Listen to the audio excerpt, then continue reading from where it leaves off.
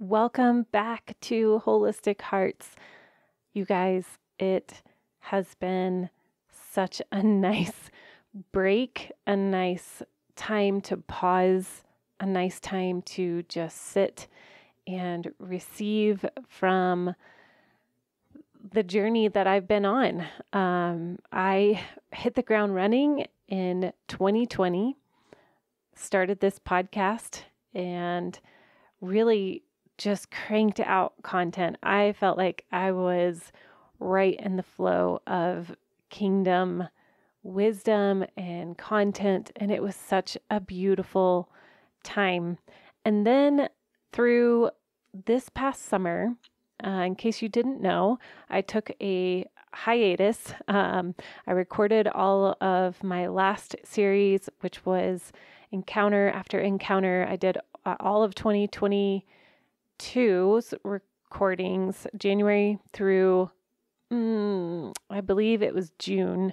I recorded encounters. And if you don't know what encounters are, it is a interactive way where we can imagine how Jesus would approach us. So it's really just taking our head knowledge of him and making it our heart knowledge.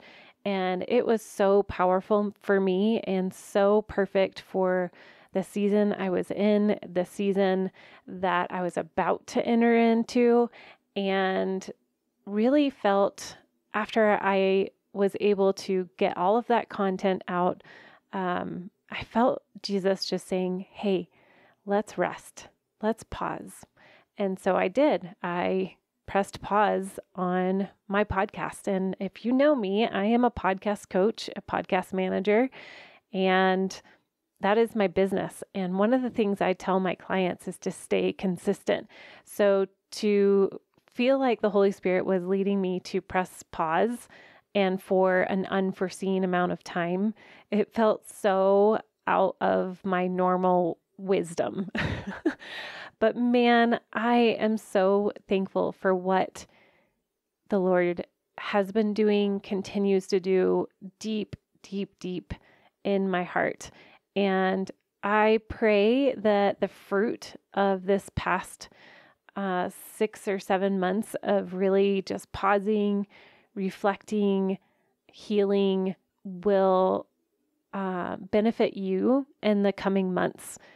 Now, as I've been planning for this upcoming year, each month is going to have a theme and it's going to um, be a little bit different. I'm not going to do encounters every week. I will um, have encounters here and there, and I also will be uh, sharing some books that have been pivotal in my journey. I'm going to be sharing more of uh, the people in my life that have been on the show previously, and they will be taking over the podcast for one episode, two episodes. I'm super excited about it because I really just want to bless you. Um, be an open vessel for what the Lord has been teaching me and to be an encouragement to you. Now, if you are on my list of my newsletter, you saw the form being sent out of what are the top things that people wanted to hear in 2023 here on Wholistic Hearts. And I loved hearing from you. I want to keep hearing from you. So please don't hesitate to reach out. Um, I loved the responses. It was everything from I want to hear more about spiritual life coaching.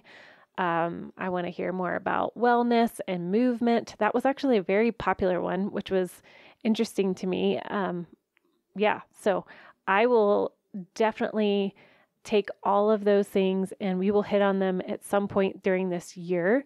Just know that each month we will have a theme and we will hit on some of your questions. So, I want you to be aware of a couple of things.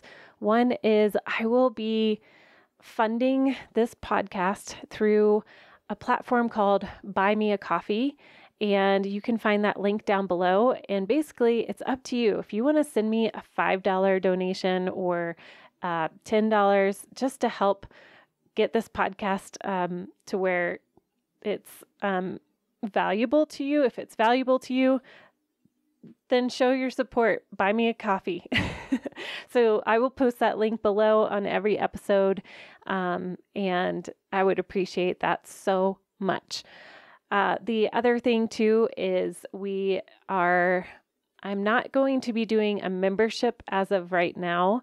Um, I just want to support you guys.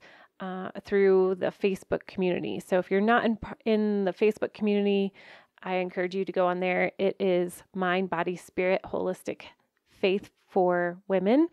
And I will um, accept your friend request. And that's kind of where we will be interacting and posting inside of there. All right, so I told you a little bit about what happened since the summer, and now it's 2023 in January. And today's episode, I really want to dive into something that is helpful to start every coaching conversation. And that is really just becoming aware. Aware of your thoughts, aware of what season you're in, and what's the difference between a season and a chapter. And the reason that I'm bringing this up is because our theme this month in January is going to be vision. And I believe that God gives us vision if we are open to that. But we have to know where we're currently at and either in order to move forward. So, what is your awareness in your mind? Where are you at? In your body, where are you at? In your um, in your wellness journey, in your nourishment of your body, in your relationships, in your finances, in your business? What season are you in? And what is interesting about this and something that I learned through this these last 6 months is that we can be in a season where there's growth and there is uh, harvest and in, in one area and in another area we can be in a season of winter where we are hunkered down we are going deep. We are going to a place that's almost indescribable. And that is okay. We can live in the both and. We can live both simultaneously in one area of our life where we are thriving, we are enjoying and having fun and delighting in, and we can also be in another area where it is painful. It is too much for words and that's okay. And that's kind of where I found myself in this last season, where my business, my podcast business, was continuing to bloom. It was, it is, it has been so much fun to coach other women in their journey with podcasting and coach other women through, um, yeah, just referrals and just growth and all of these areas where I saw so much harvest. And then in my own place of journeying through, um, there was a lot of deep, unknown work. And you may have heard me last season. I did talk about um, Ashley Ferris, a good friend of mine. She came on my show. And afterwards, I was telling her I felt like I was about there in a place of a dark night of the soul and basically feeling almost disconnected and like the offering was coming, but I wasn't quite there yet, but I knew it was coming. And she said to me, you know, during heart surgery, you're put under so you don't feel the pain. That there's so much internal work going on that it's His mercy that he gives you medicine to make you not be aware of all the intricate things that he's fixing within us. And that really stuck with me because you guys, there were moments this summer, this fall, where I got up to do an encounter, a quiet time, time in the Word, and I just felt so lost. But I knew that I knew that I knew He was with me. It wasn't like he wasn't doing anything, but I also felt so disconnected in some of my heart. And hence the reason of this this whole podcast name is called Wholistic Hearts. And I just clung to that truth that he was doing heart surgery within me. And I I still believe that there's so much that I haven't quite put my finger on. And I'm so grateful for how I have been able to come out of such a dark place personally. Um, and not in a depression way, not in um, anxiety but I also believe that he's he's there in all of those things. But it was a it was a weird space. I can't quite put my finger on it, other than it was a um, a deep heart surgery.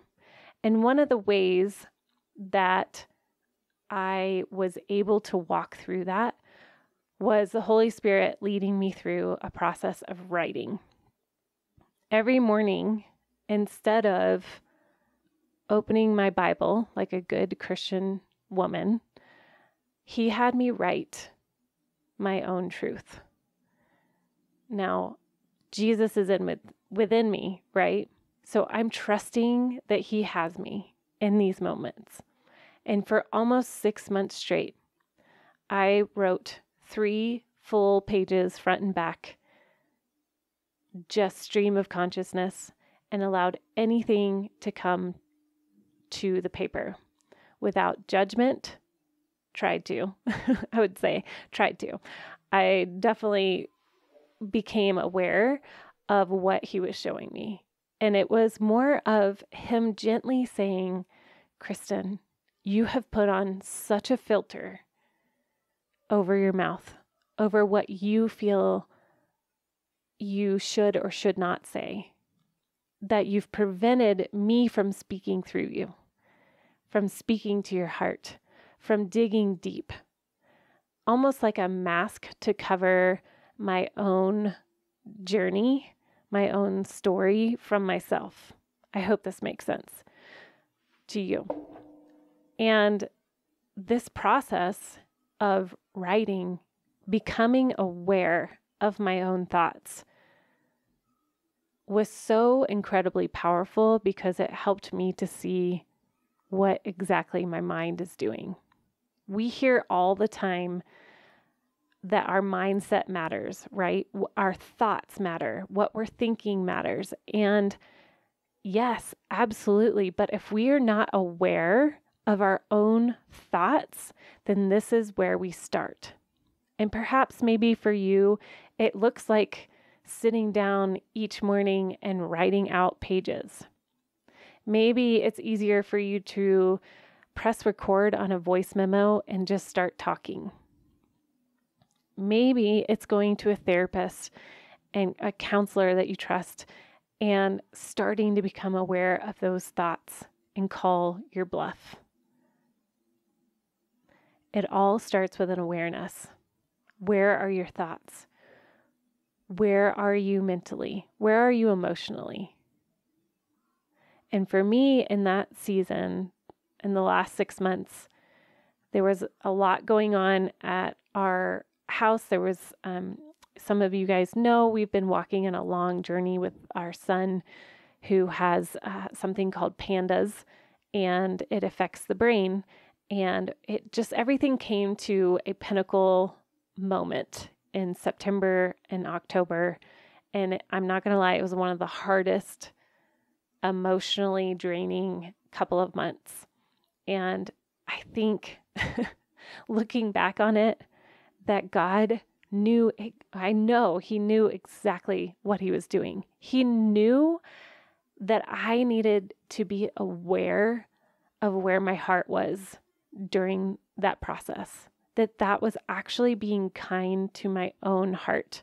That was actually being tender and attentive to what my own heart needed. Because I know as women, as moms, we hold space for so many people in our lives. And when we hold space for ourselves, when we allow Jesus into those places, whether it looks like a quiet time, worship, writing, whatever it is, we now have the capacity to hold more on the outside.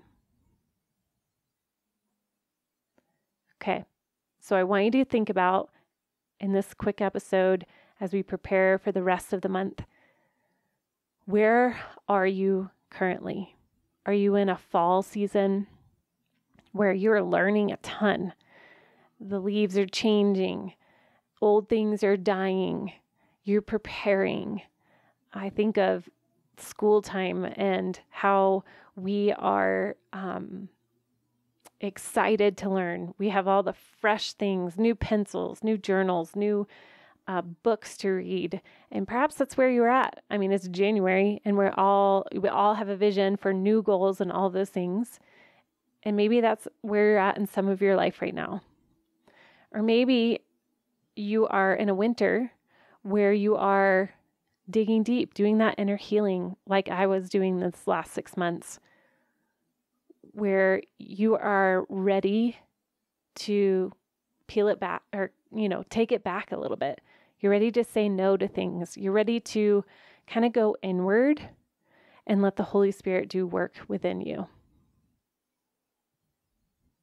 Or are you in the spring where things are new, things are blossoming, the birds are chirping, there's joy, there's there's excitement, there's freshness, fresh grass, there's rain. I love this picture because I want to tell this story because I read uh, a book by Andrew Peterson. Yes, he's the author of Wingfeather series, but Andrew Peterson wrote another book called The God of the Garden. And I picked up that book a couple of, uh, maybe it was a month ago. And inside that book was the most beautiful story of him walking his son out to his property and planting a tree seed. And he broke open the soil and he put a seed down into the soil. And his son wanted to cover it up really quick, but he said, No, you got to dig deeper and push it in even further. And I love that because I, I was thinking about in the springtime when you're in that season there is a season where you're like, oh, yeah, there's going to be new life, but first you have to actually plant the seed, put it underneath all the dirt, and push it in even further, and then wait for the rain to come and crack open that seed. So, that right there has been such a, an anchor for me of the seed is cracking open and eventually that green little shoot will come poking out of the dirt and it will be brand new life. And that is a spring season. And then summer is that coasting along, that just joy in being present, delighting in where you're at.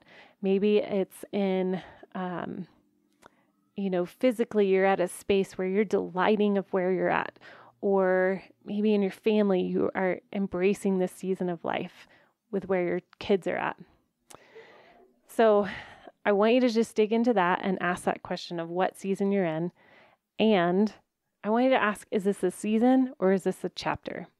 A dear friend of mine, she's been my prayer partner uh, and dear friend for decades. and we were talking in the midst of this hard season that we just were coming out of.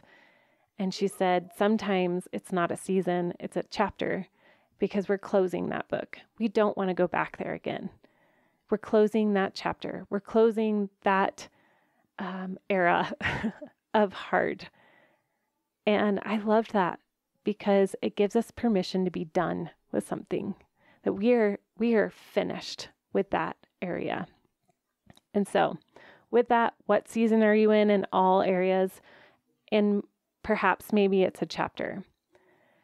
Now, as we move forward through January, I want you to start thinking about after you are aware of where you are right now, what is the vision? What are some of those goals that you have? What is your intention and how are you going to get there. And so just keep your ears out for the next episode. You guys, this is going to be great. I'm excited for this year for 2023. And again, I'd love for you to keep in touch with me on Instagram or on our Facebook page inside of the Mind, Body, and Spirit Holistic Faith for Women Club, Club, Group. All right. Take care, you guys. Bye bye.